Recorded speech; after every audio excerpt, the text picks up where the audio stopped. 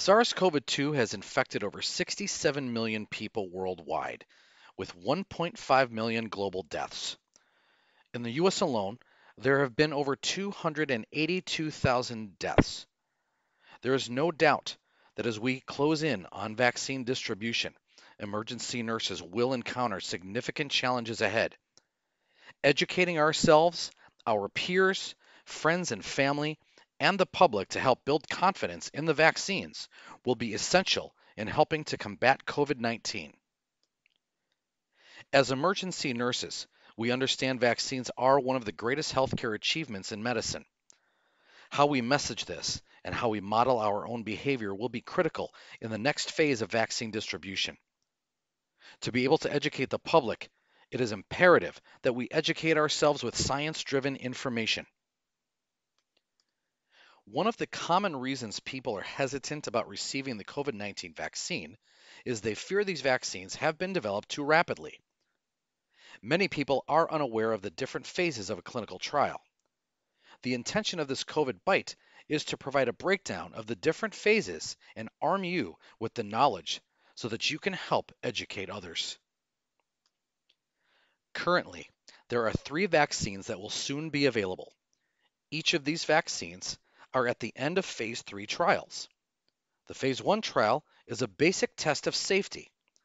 It enrolls small numbers of healthy adults and it may attempt to determine a useful dose while also making sure that no immediate safety concerns are identified.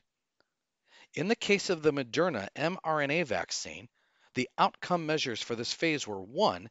An antibody response, immunogenicity, and 2. A side effects profile, safety.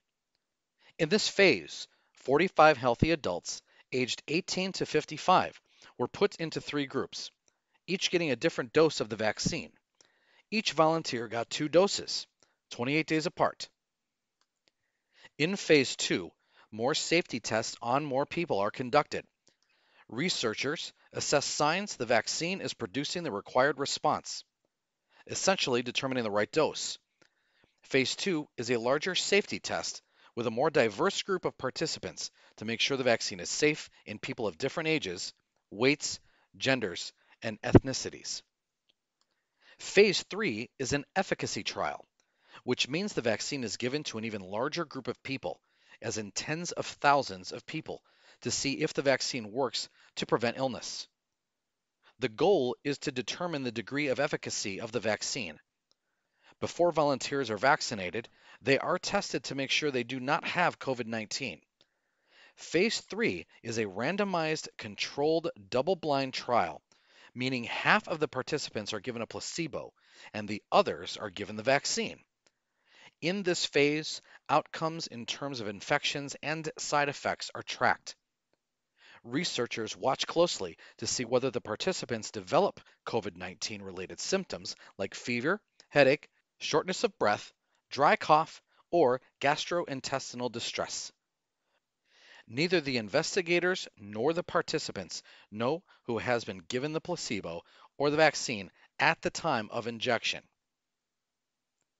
Phase 4 of a clinical trial involves regulatory approval and licensure. After a successful phase 3 trial, vaccine manufacturers apply to regulatory bodies such as the European Commission or the U.S. Food and Drug Administration, FDA. At this stage, clinical trial data is reviewed to make sure the vaccine is safe and effective.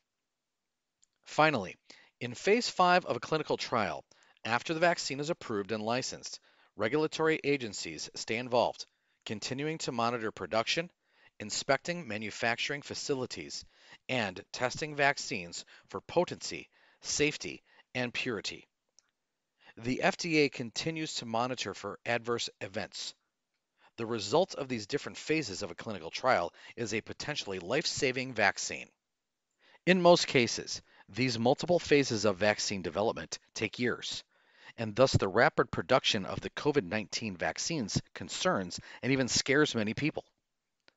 This fear that the COVID 19 vaccine has been developed too rapidly can easily cause vaccine hesitancy. How do we know it's safe? How were researchers able to make it so quickly? How do we know that shortcuts were not taken? Have these vaccines been tested? These questions are common and will likely be asked. It will be important for emergency nurses to educate others that the rapid pace of the COVID 19 vaccine's development is due to several factors. It must be explained that typically there are several processes involved in research of a vaccine theoretical development, grant writing, approvals for trials, negotiations with drug manufacturers, and recruitment of subjects to take part. All of these processes can take years to get from one phase to another. Educating the public that researchers were not starting from scratch to develop a COVID 19 vaccine is also imperative. Past research on vaccines for other coronaviruses, such as SARS and MERS, has helped immensely to identify potential approaches. Technological advances enabled rapid isolation and sequencing of the virus's genome, became available in January 2020.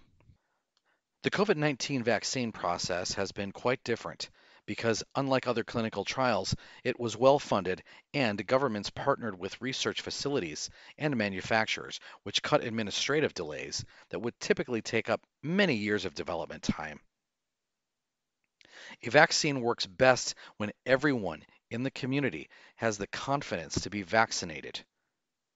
ENA has partnered with the COVID 19 Vaccine Education and Equity Project to promote factual information on the vaccines and equity in distribution.